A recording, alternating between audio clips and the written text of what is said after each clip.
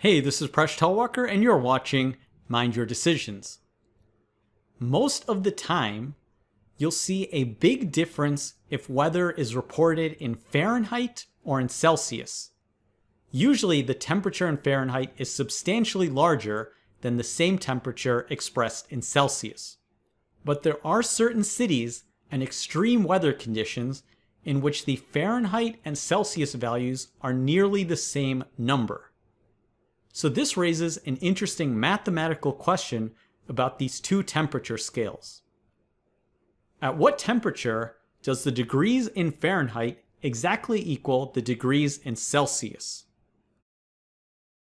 We'll start with the conversion that the degrees in Fahrenheit is equal to 9 fifths times the degrees in Celsius plus 32. We want the degrees in Fahrenheit to equal the degrees in Celsius, so we'll write degrees Celsius for degrees Fahrenheit. We now have an equation in one variable. We'll write 5 over 5 for 1. We now subtract 9 fifths degrees Celsius from both sides. We then multiply both sides by negative 5 over 4. And we get the answer of negative 40 degrees Celsius is exactly equal to negative 40 degrees Fahrenheit. If you are in such conditions, like parts of the United States right now, please stay warm. Thanks for watching.